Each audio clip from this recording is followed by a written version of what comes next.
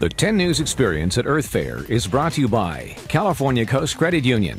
Refinance your auto loan today with rates as low as 2.98% APR. Call 877 495 1600. Covering major news across San Diego. This is a 10 News Update. Welcome back to 10 News. I'm Hal Clement. Wind and hot temperatures are back in the forecast. Let's check in with Chief Meteorologist Byron Miranda in the Pinpoint Doppler Center.